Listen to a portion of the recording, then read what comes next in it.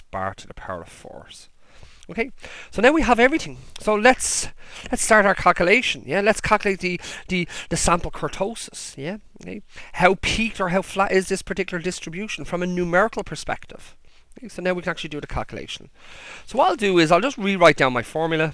Okay, I'll just rewrite it down. The kurtosis, the sample, the sample kurtosis, kurtosis. Okay, the formula is that k is equal to it's n times n plus 1, which needs to be divided by n minus 1, the sample size minus 1, times the sample size minus 2, times the sample size minus 3. And that particular factor is multiplied by the sum of the f's times the x minus the x bars to the power of 4, which needs to be divided by the standard deviation to the power of 4, minus, it's minus 3 times, 3 times the sample size minus 1, which needs to be squared, which needs to be divided by the sample size minus 2 times the sample size minus minus 3. Okay? And we know our sample size. We know our sample size is equal to 50. So what we end up with here is that k must be equal to 50 times, well, 50 plus 1 is 51.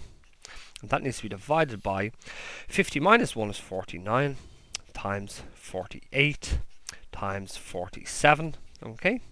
So we have that factor Okay, that needs to be multiplied by the sum of the frequencies times the x's minus the x bars to the power of 4. Now we've already done that calculation. We know that the sum of the frequencies times the x's minus the x bars to the power of 4 is 18,440,786. So what we need to put in here is it's 18,440,000 and 786, 786. And that needs to be divided by the standard deviation raised to the power of 4. And we calculate our standard deviation. We calculate our standard deviation to be 19.6. So it's going to be 19.6, 19.6 raised to the power of 4. Okay, minus 3 times the sample size minus 1, so it's 3 times 49 squared, which needs to be divided by the sample size minus 2 is going to be 48 times the sample size minus 3 is going to be 47. Okay. So this is all this boils down to, yeah, is to actually do this particular calculation. So what we'll do is we just do this uh, factor over here, which is 50 times 51, gives us a value. I'm going to divide that by 49, gives us a value divided by 48, gives us a value, and I'm going to divide it by 47, which gives us the factor. It's 0.0231 to four decimal places. So k is equal to 0.0231 to four decimal places, and that needs to be multiplied by this factor here, which is 18,440,786, which needs to be divided by 19.6 raised to the power of 4, raised to the power of 4. And that gives us a value of 124.9 let's say 124.9 should I I've gone to four decimals just here just to keep this just to keep this uh, that there's actually an effect okay so this but this is times 124.9554 if we're going to be consistent 9554 and what I need to take away from that is this value here which is 3 times 49 to be squared which needs to be divided by 48 which needs to be divided by 47 which gives us a value of 3.12 sorry 3.1928 so we take away we'll take away 3.1928 this is actually a standardizing factor yeah here for us yeah okay? Um, a, a, a normal distribution is said to have kurtosis of 3 and when we take this away this value here will be will be baselined off 0 so actually what we end up with is we end up with our kurtosis k is equal to uh, 0.0231 times 124.9554 that gives us a value minus 3.1928 which gives us a value of minus 0.3 063 to four decimal places.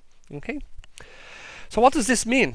Well, as I said a moment ago, okay, a a norm typically, okay, if we just do the calculation, yeah, typically a normal distribution, yeah, okay, has a kurtosis of three, But this particular formula has a normalization factor, which which which normalizes uh, to so that we're we're, we're, we're, we're baselining things off off off off zero.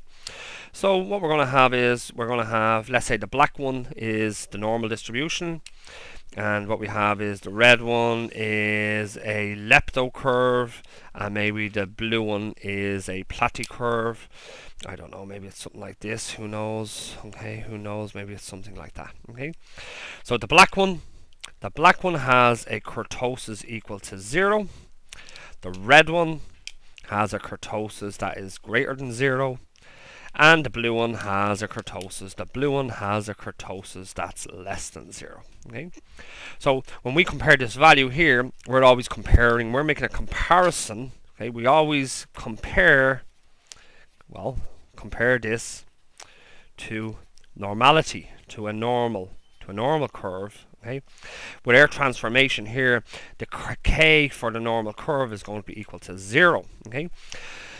Uh, so we're comparing this to a normal curve, and you see it's negative, yeah? So actually what we have is our distribution is flat.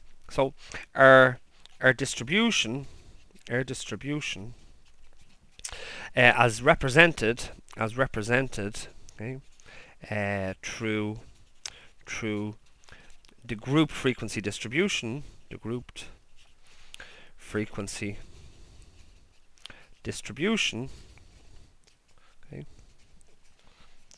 air distribution is is is flatter. It's flatter than a normal than a normal than a normal curve. Okay, so that's it, guys. That's how we estimate the sample kurtosis. In a later video, what we'll do is actually we'll test the significance of our sample sample kurtosis, and we'll also test the significance of our sample skewness. Okay, we'll do a hypothesis test, in other words. Okay, guys. Uh, once again, this was Jonathan Lambert with the Mathematics Development and Support Service at the National College of Ireland, and I hope that this video was in some way intuitive, and more importantly, I do hope it was helpful for you. And thanks for watching. Okay, bye bye.